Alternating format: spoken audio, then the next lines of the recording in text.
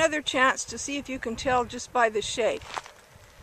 Poison oak hardly ever appears in isolation. It's always got something next to it. And here you can see it mixed with the wild mustard. But you can see the way it just sort of stands straight up and it's bright green in contrast to the browns of the mustard. Uh, well, the yellow mustard and the dry, drying mustard. But you can see these patches is just straight green in the middle of all of it. And you would definitely want to stay away.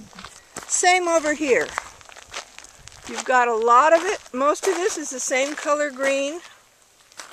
And again, these look like they're fairly new plants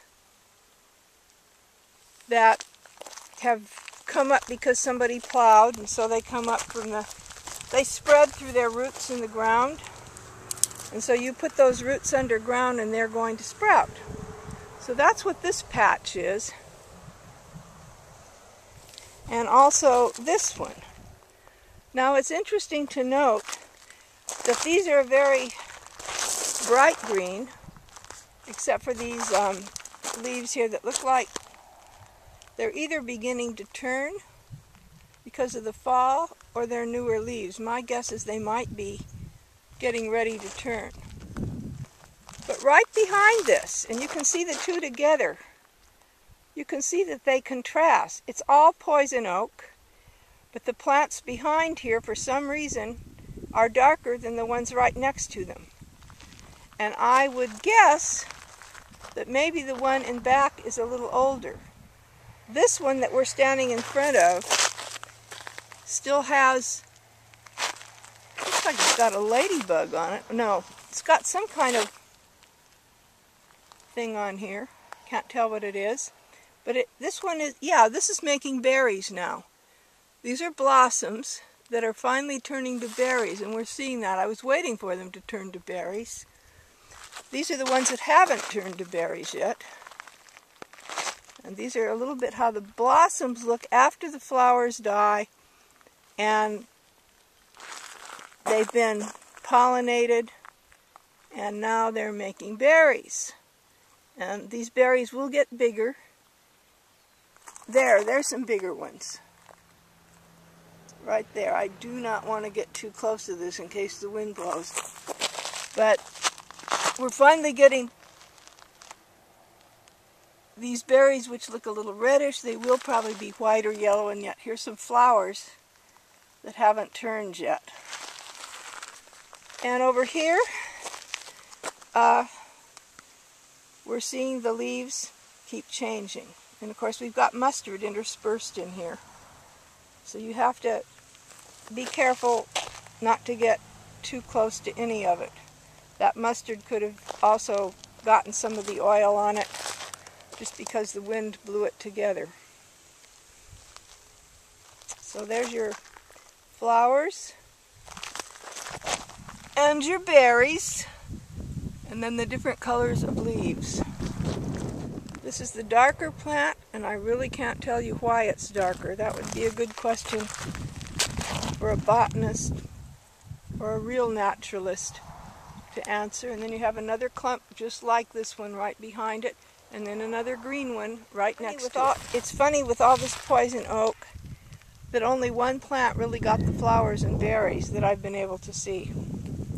It's another one of the darker ones, and it looks like some of these leaves are getting ready to fall off. They look like they're dying. You can kind of see they're either dying or they've got some kind of disease. I hope by now you can tell without even approaching that these two in front of me, the baby and the one behind it, are both poison oak. Now we're approaching that clump I showed you before much closer and you can see right in front you've got a sandwich here. You've got the blooming green, bright green coyote bush in front and then right behind it you've got some rather mature poison oak plants. And this one too looks as though it's actually part tree. The older parts are down here, they're dead, they're covered with moss, and they're probably just as dangerous to touch as the ones up there that are fresh and green with nice pretty red leaves so that you can tell them apart. And then you can see here another pretty well dead clump. But it's still dangerous. And I see one up there. I'm going to try not to get too close to this stuff. There's one up there.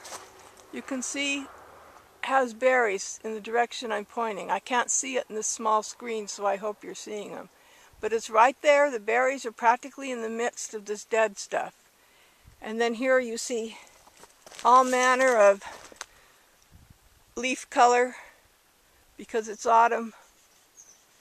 And you've got the bright green next to the red. These leaves will turn scarlet later on and really be beautiful. Poison oak is a beautiful plant. It's shiny, it's attractive. The leaves are beautiful at any season of the year and you just have to be very, very careful to stay away from them.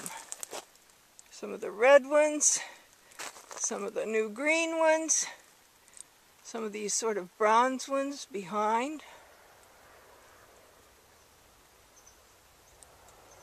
I wish I could see the colors through this screen. And then you see some, some really brown ones here behind. You can still see see it climbing through that big coyote bush too. If you look at that coyote bush in front of us in that kind of gap, you can see you've got coyote bush on one side and you've got poison oak coming through the middle and all through it. So whenever you're going in any place that looks a little bit shrubby or weedy, watch out for poison oak. It might look just like what we've got down here, all dead and you still don't want to get into. I'm going to approach those clumps on the hill just to prove to myself and you they really are poison oak.